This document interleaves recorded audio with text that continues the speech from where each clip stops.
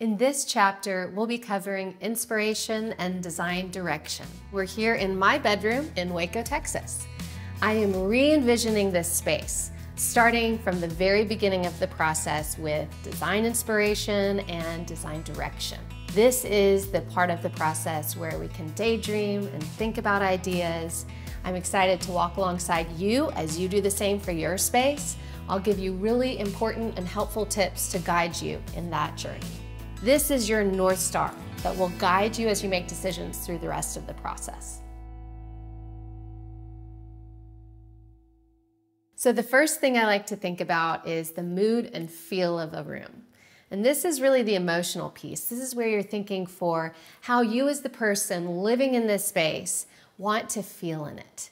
This can be everything from I want to feel rested and restored or energized and uplifted. They can be very loose terms, but just putting something towards what does this space feel like will then help you move into more specific design decisions. For myself, I know that I want this room to feel relaxing and calm.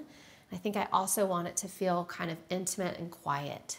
Now I'm ready to gather things together and actually sort through them this is the fun part. You may have gone to a paint store or an antique shop, wherever you go to get ideas, bring those things together and start rifling through them. So I'm gonna camp out here on the floor in our bedroom. I just think this is a great place to think of ideas actually in the space. In thinking about this room, there's one trip in particular that we made uh, that I think I'd like to channel. We were at a hotel and I snapped this photo of a corner off to the side. It was just this quiet moment, sort of dark and moody, but it felt very uh, restful and cozy. It was just a, a place I wanted to cozy up and sit in that chair, hang out for a while. I also remember going on a walk late one evening and I saw this gorgeous sunset but it was through the trees. And so I took a picture of it. This moment feels like, if I'm talking about mood and feeling and atmosphere, it kind of, it feels like the mood I want in this room.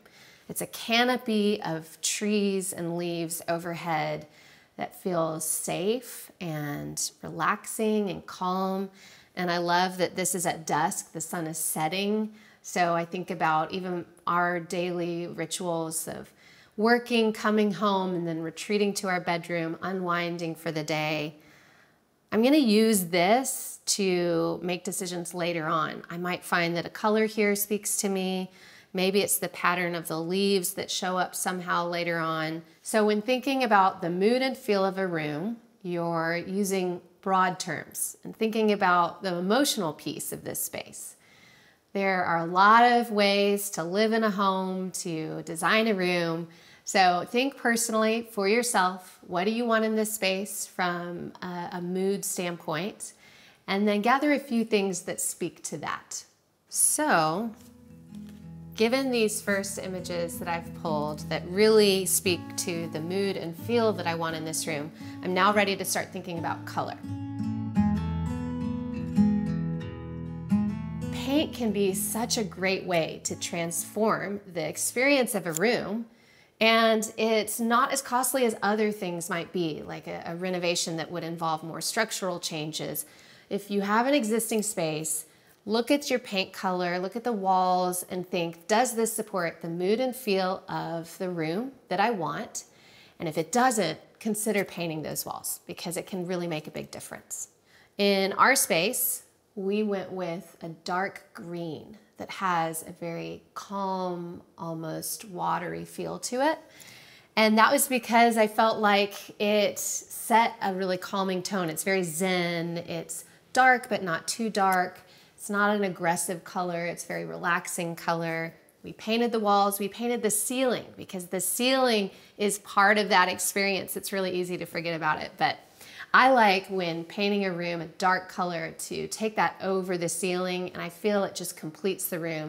It's less disrupting to have these dark walls and then a really bright white ceiling. I also loved the idea here in my inspiration of a canopy over top, like I'm in a forest and everything is very quiet and muffled and that just wraps overhead. Now, color isn't just the, the walls in your room.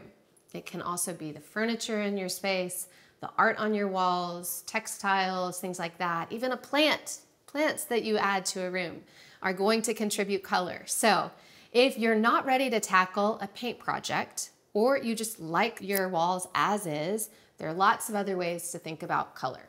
So with this dark green wall color, which I love, I think as I'm considering the furniture that will come into this room, I'd like a few things to stand out from that. I don't want this room to get too boring and, and subtle.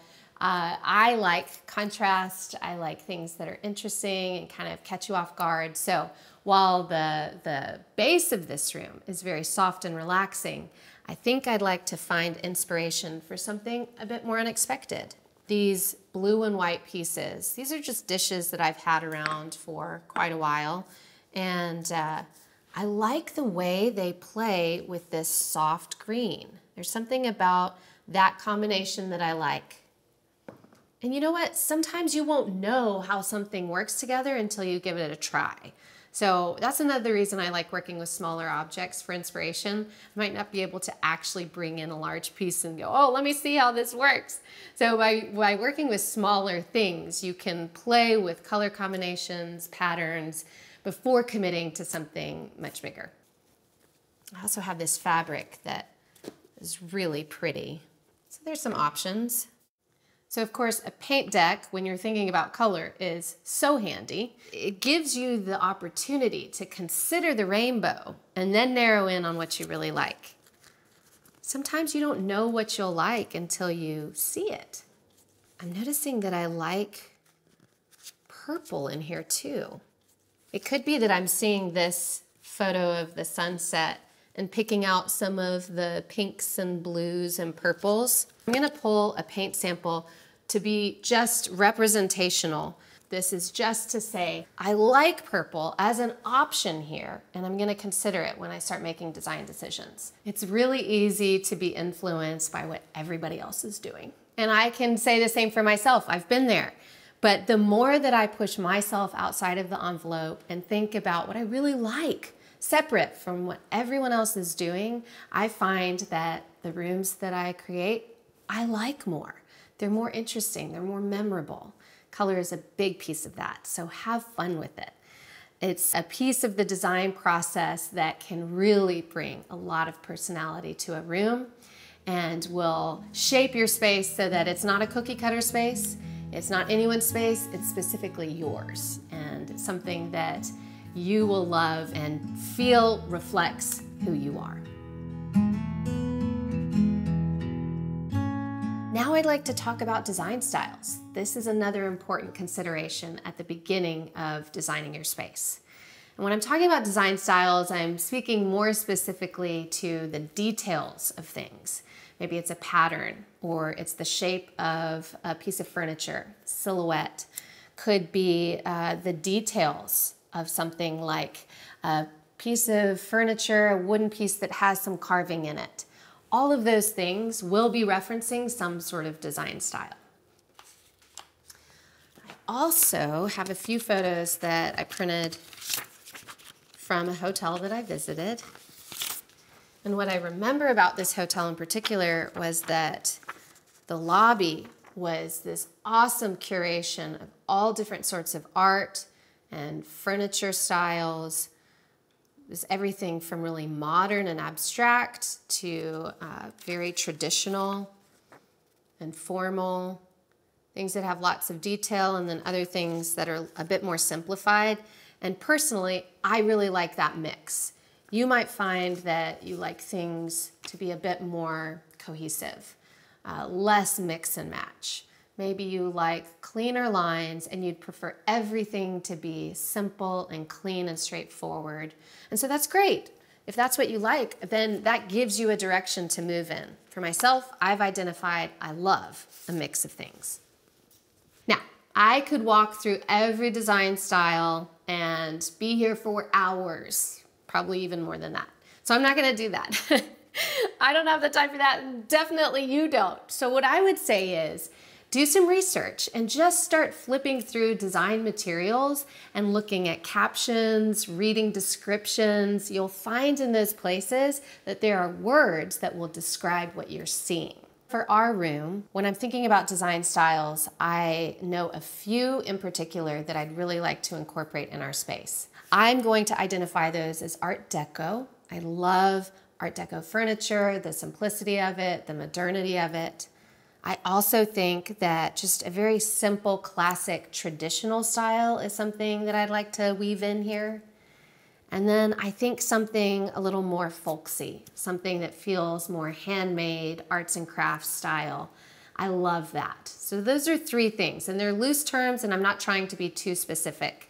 There are two ways to go with materials in your bedroom, and specifically the bedding in your bedroom. I think you can make a really bold statement and go with color and pattern and something bold, or you can go very simple and classic with just neutrals and play more to texture. I prefer a simple bed, and this is just a personal preference, but I like linens that are clean and simple, not too fussy. I want them to be practical and easy to work with. So I'm throwing down these fabrics to demonstrate that. So as you can see, this is not a rigid process. And there are no rules. So uh, I would encourage you to experiment, use this as an exercise in exploring different ideas and possibilities.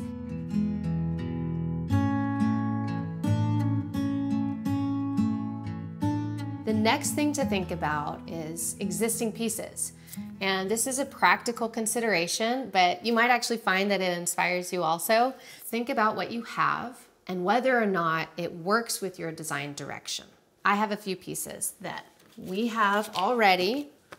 There's this chest of drawers, and it's just a simple, traditional piece of furniture. I actually don't think you can go wrong with it. It's a dark wood stain, and it has brass hardware on it. So I know we definitely need more storage in this room, which makes this piece of furniture really useful.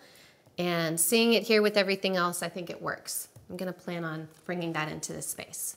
Now our headboard. We have an existing headboard. It's a soft upholstered material, which I love, but I'm not sure about the color. I was drawn more to cooler colors, to greens and blues and a little bit of lavender purple. And there's something about this yellow headboard that just doesn't work with that. It disrupts this calm, serene color palette that I've already established. So I think based on that, I'm gonna plan on not using this headboard and instead finding something else. Lastly, there's a rug that we used to have in our living room. It's a great flat weave rug. It's uh, just a simple black and white color palette, but it has all of these details or kind of geometric folk style, and I like it. So now that I've gathered all these ideas, I've edited through them and narrowed in on a few that I really like, I feel good about it. I think this nicely summarizes what I want our space to become. I think the best thing for me to do next is actually take a photo of this. This is how I like to work. But once I've gathered everything together and put physical things in one place, it's super helpful to me to take a photo and then keep that as a reference as I go. It's a bit clunky to carry around fans and dishes and fabrics with you everywhere. So that's not as practical. If that's what you've used to put together design direction, then I would say take a picture, put it on your phone, reference it as you go. So that's it. Here's my design direction. I feel like it gives me a really clear vision for what I want this space to become. It establishes mood and feel, color, design styles, and also existing pieces I'll bring into the space. I hope this has given you some tools to go out and create your own design direction and establish a clear vision for the next phase of designing your bedroom.